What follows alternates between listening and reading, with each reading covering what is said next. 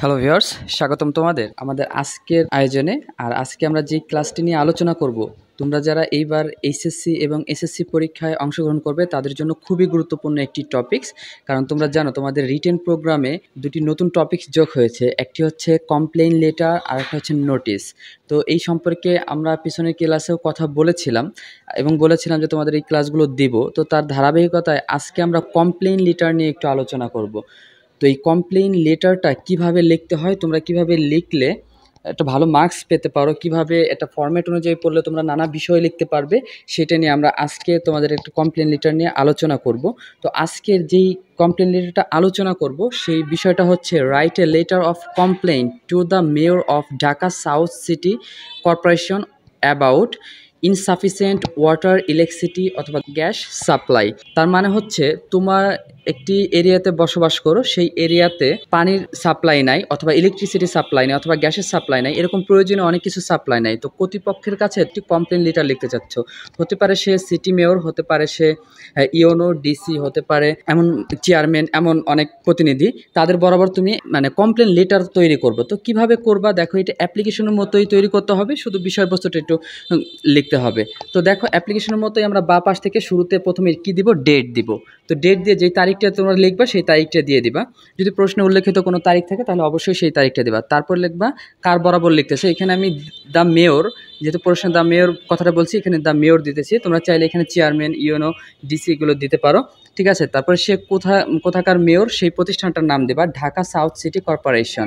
এবং এটা কোথায় অবস্থান? এটা হচ্ছে ঢাকাতে অবস্থান করছে হ্যাঁ? এরপরে হচ্ছে আমরা দেবো সাবজেক্ট। তো সাবজেক্টটা কি দেখো? সাবজেক্ট হচ্ছে রিগার্ডিং ইনসাফিসিয়েন্ট ওয়াটার সাপ্লাই।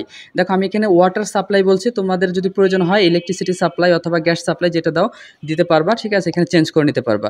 তো রিগার্ডিং ইনসাফিসিয়েন্ট ওয়াটার সাপ্লাই, এটা সাবজেক্ট হিসেবে লিখব। এরপরে আমরা অ্যাপ্লিকেশন মতো লিখব। স্যার মানে জনাব, I would like to inform you. আমি আপনাকে জানাতে চাচ্ছি যে বা তথ্য দিচ্ছি যে that water supply in our area দেখো এই ওয়াটার সাপ্লাই কিন্তু চেঞ্জ করতে পারবা তোমরা, তোমাদের প্রয়োজন অনুযায়ী। Water supply in our area has recently become very insufficient বর্তমানে এই পানির সংকট আমাদের এলাকায় বা আমাদের এরিয়াতে খুবই প্রবল হয়েছে, ঠিক আছে? এভরিবডি প্রত্যেকেই feels the necessity of water প্রত্যেকেই এর প্রয়োজনীয়তা বা পানির প্রয়োজনীয়তা অনুভব করছে। তোমরা চাইলে ওয়াটার জায়গায় ইলেকট্রিসিটি অথবা গ্যাস দিতে পারো। The sufferings of all people প্রত্যেক জনগণই ভুগতেছে নো নো বাউন্ডস প্রত্যেক জনগণের ভোগান্তির কোনো সীমা পরিসীমা নেই, ঠিক আছে? এই হচ্ছে আমাদের মূল বিষয়টুক। এরপর আমরা যেটা দেবো সেটা হচ্ছে একদম নিচে একটা প্যারা করে দেবো। দেয়ার ফর অতএব I pray and hope that আমি প্রার্থনা করছি এবং আশা করছি যে you would be kind enough আপনি যথেষ্ট সদয় হবেন টু টেক এ নেসেসারি একটি প্রয়োজনীয় পদক্ষেপ নিতে step and oblige thereby এবং আমাকে বাধিত করবেন। ইয়োর্স ফেথফুলি একদম লাস্টে লেখা ইয়োর্স ফেথফুলি আপনার বিশ্বস্ত একটা নাম দিয়ে দিবা। আমি এখানে রনি নাম দিয়েছি your faithfully Rony on behalf of the inhabitants of dash এখানে একটা গ্রাম অথবা এলাকার নাম দিয়ে দিবা। ফ্রেন্ডস দেখো তোমরা যদি এইভাবে করে কমপ্লেন লেটারটা লিখে আসতে পারো, তাহলে খুবই ভালো একটা মার্কস পাবা। তো আশা করতেছি তোমরা কমপ্লেন লেটারটা মুখস্থ করে ফেলবা, কারণ আমি একদম অনেক সহজভাবে দেওয়ার চেষ্টা করেছি। তোমরা কয়েকবার যদি একটু লেখো, খাতায় নোট ডাউন করে ফেলো, তাহলে দেখো খুব ইজিলি তুমি এটা লিখে আসতে পারতেছো। এবং এই সংক্রান্ত যত কমপ্লেন যত লেটার আসবে, যেগুলো আমরা পাচ্ছি না, আমাদের যেরকম ওয়াটার ইলেকট্রিসিটি গ্যাস এগুলো পাচ্ছি না বা অভাব, এই সম্পর্কে কিন্তু লিখতে পারবা। এবং আমরা ধারাবাহিকভাবে কয়েকটা গুরুত্বপূর্ণ কমপ্লেন লেটার তোমাদের দিব পরীক্ষার জন্য।